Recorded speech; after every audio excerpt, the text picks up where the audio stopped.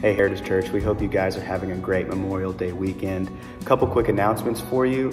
Tomorrow at 10 a.m., we will have our live stream service on YouTube. We hope that you guys can join us. I know that Brian Seawald has another great message, part two of his Jonah series.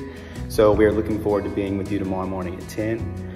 Um, like I said, I hope you're enjoying your Memorial Day weekend, so it goes to show that Monday is Memorial Day. Um, we just want to take that time to honor and give the respect to those who have paid the ultimate sacrifice for our country.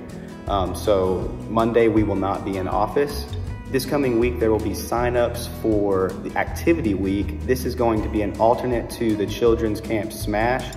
Um, there's going to be just a lot of fun activities that you can be a part of. So if you have any other questions about that, you can contact Madison Simmons hey, we want to encourage you guys to keep on the lookout on Facebook and Instagram going forward. We're going to be posting more and asking for engagement on these posts, so keep your eyes out.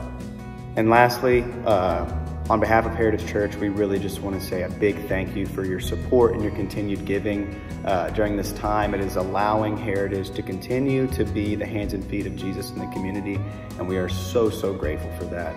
So here are the ways that you can give.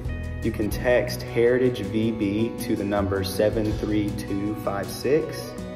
You can also give online at heritage.church as well as giving on the Realm app under the Giving tab. And you can also mail in or deliver a check to the church office, whichever way you prefer.